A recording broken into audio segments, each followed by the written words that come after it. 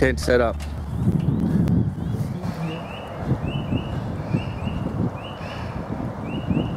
Today we'll show the setup of the 01 straight wall tent. Very simple tent to set up once you've stabilised the trail in the position on a nice level site. Basically just fold the floor down. Otherwise will just demonstrate fold straight up and over.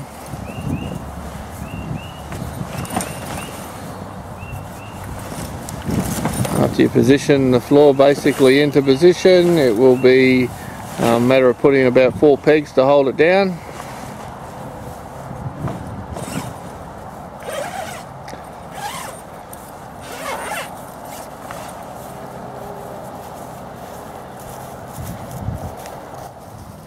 After the tent is folded out, place four pegs in. The ones at the trailer, you need to make sure these are straight up and down to the trailer. Do this on both sides. Pull the corners out. If you get the floor square at this stage, the rest of the tent will fall into position easily.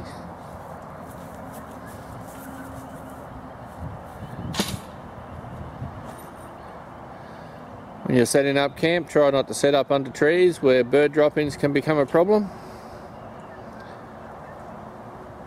Also, uh, tree sap can always cause a drama as well. Now, these ensured that the floor is uh, square to the trailer here and there's no creases in the floor. At this stage you will open up the door to the tent, enter the tent and push the bows out into the position.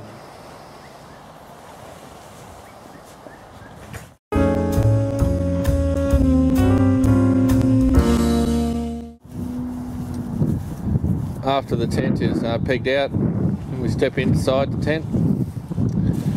Uh, position the bow nearest the door into the ground pocket first.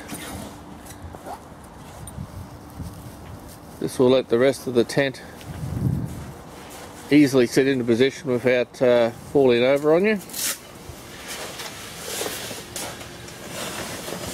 When adjusting these bows out. As with all our tents do not over tighten them. Stretching the canvas will only open up holes and cause the tent to leak.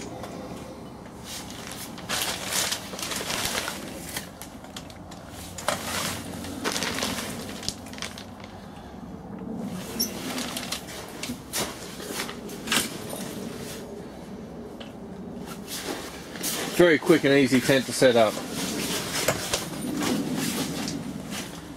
So he's just positioned the last bow here now.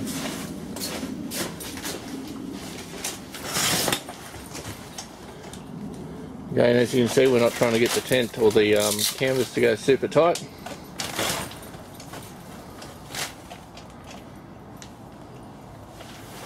The reality is, there's a tent you can sleep in in an easy two minute setup.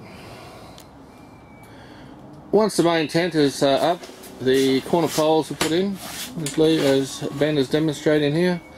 Again, not too much tension.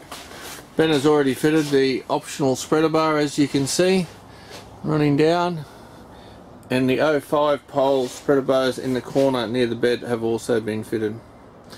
There's an optional privacy screen comes with this tent. At the moment tucked under the mattress, can be placed up quite easily to give parents full privacy. Very easy tent to set up, easily done in under 10 minutes.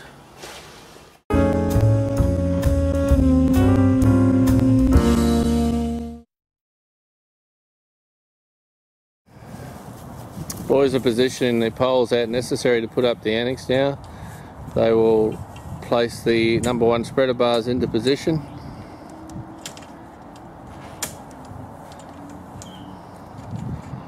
Sometimes it helps to have someone on the inside to find the holes for the spreader bars. Most of the time they're quite easily done.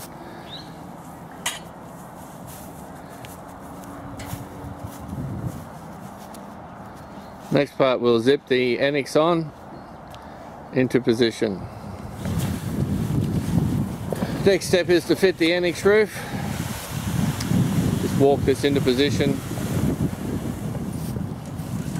The zip starts at the furthest position from the bed. As you can see that little trick Ben just did, he's tacked the rear of the uh, annex roof on with the velcro just to hold it up in position. Well Lee starts the zip off at this end.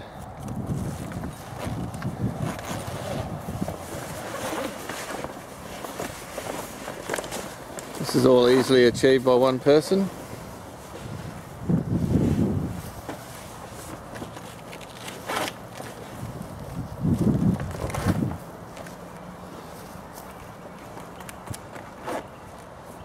Always pays to have a little step ladder with you when you go camping.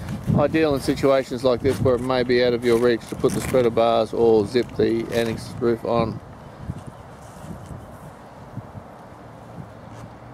After that's done, the Velcro storm cover is placed over the zips.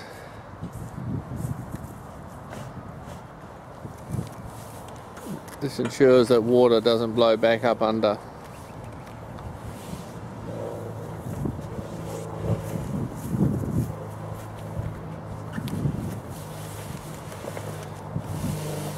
After this is achieved, the best way to do the next part is to put the centre pole up with the spreader bars that the boys have already placed into position onto the main ridge bar of the awning.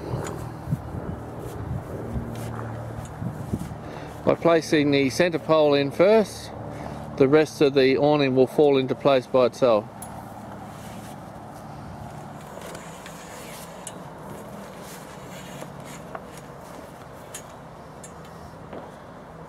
As we do for other tents by putting this pole up first with the main ridge bar in position. The tent will now stand in place by itself and it's just a matter of building each corner up as needed.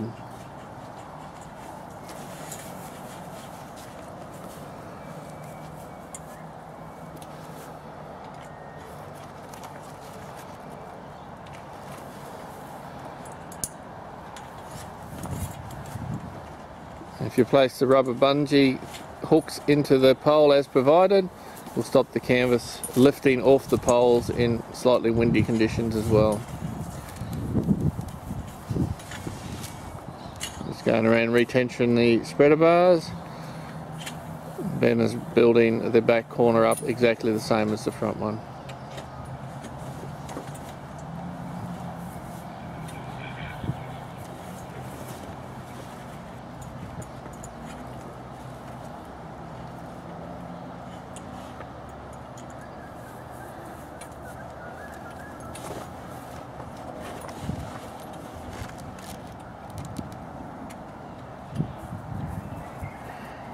Now just go around and uh, lift the height of the poles in the corners to adjust the height.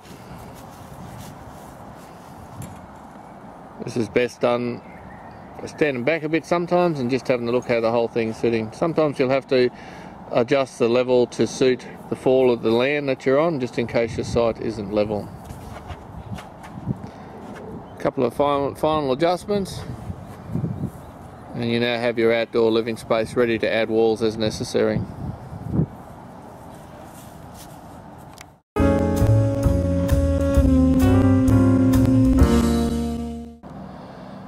After you're happy with the way the annex roof is sitting, everything's nice and square, the next part we put in is the floor. Always easy to do the floor without the walls on. Lets you see what you're doing a lot easier. You can lay the floor out and get it sitting in position nice and square without having to worry about anything. Also gives you um, something nice to kneel on in case you need that to do the, the wall situation with the floors. The boys are just putting the poles onto the floor to stop the breeze.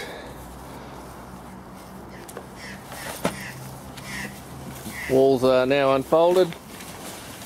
Always easy to do this in one piece.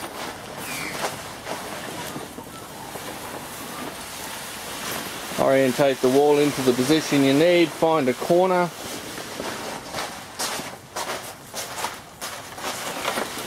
Always start at the corners usually the easiest at the front corner. Uh, the boys just pull the pole back in off vertical. and then stand the pole back up once the corner's in place.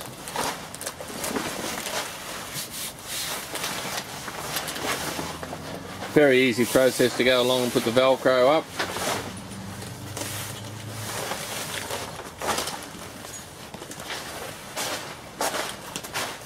It takes about three minutes to put all the walls in.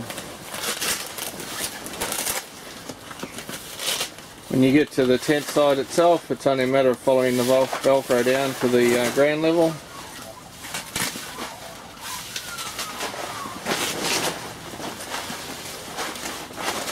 Seal off the tent area. What Ben's doing now is pulling the mud flap under the floor and positioning the floor back on top. This will give quite a good weather seal and try and keep most of the critters out. Very handy for small children that are still crawling around on the uh, ground. Gives them a sealed area that they can play on with um, no fear from bites or nasties on the ground.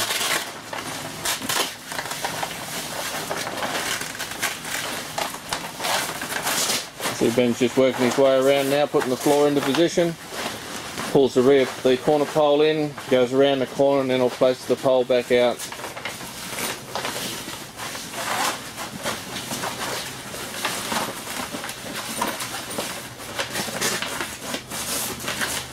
This procedure is done all the way around the tent.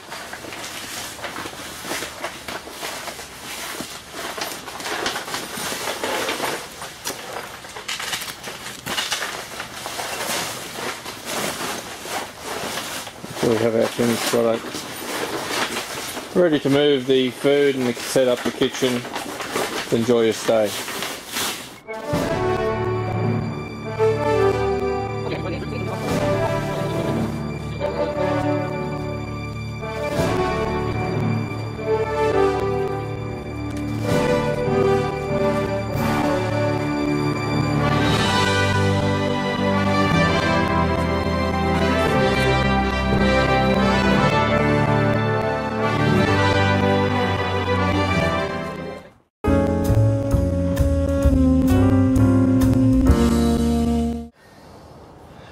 We're going to do the fold down on the A1 tent now. I've got Ben up here just removing the optional spreader bars. While the up on the bed, the other bar we remove is the 05 spreader bars, the small ones. And then he'll go around and he'll let the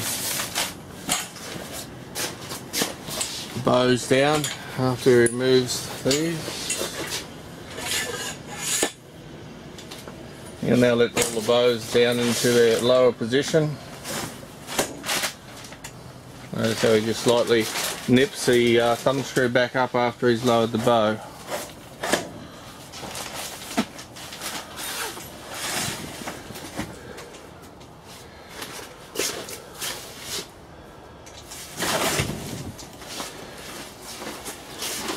Remove the two corner poles.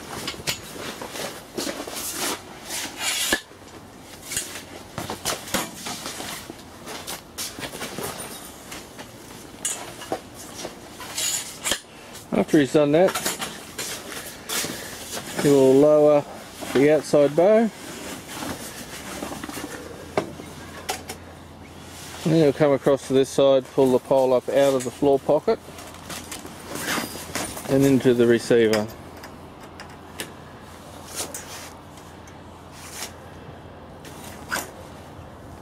He'll now remove the outside pole from the corner pocket and place it onto the receiver. Then you can let both bows down into the closed position. Descend the other side.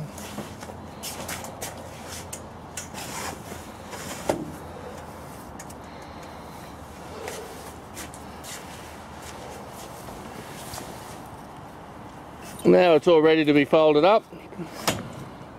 Simply a matter of folding it over now.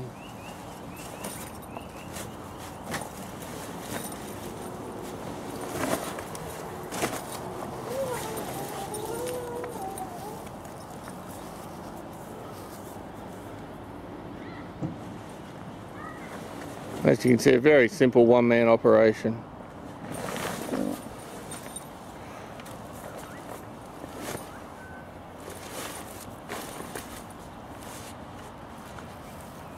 At this point here it's only a matter of um, fitting the tonneau cover on now. Boys will now put the, the whole annex, the storm cover and all the walls onto the top of the uh, packed up canvas work.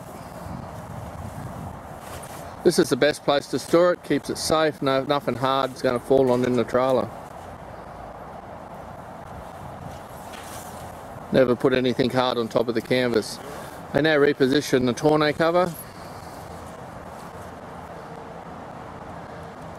Zip it back on into position.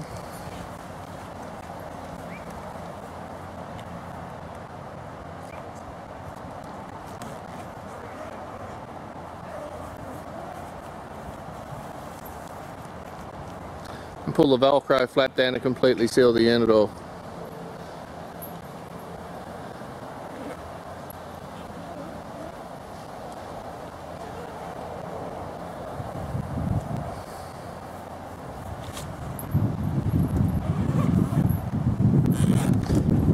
If you're in extremely dusty conditions, try and make sure there is no dust or sand that has got into the zip at any stage. It will only damage the zip in the long run. By putting the Velcro cover back down over the zip, this should eliminate all problems driving along the road and make the unit nearly dust proof.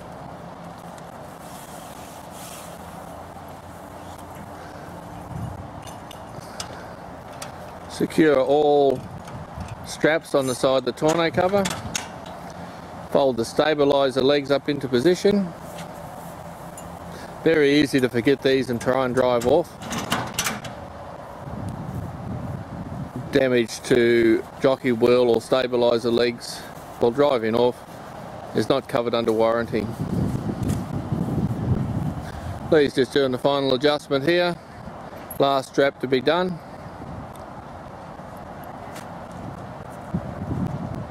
At this point your Market Direct camper is ready to be hooked up to your vehicle for a safe journey home.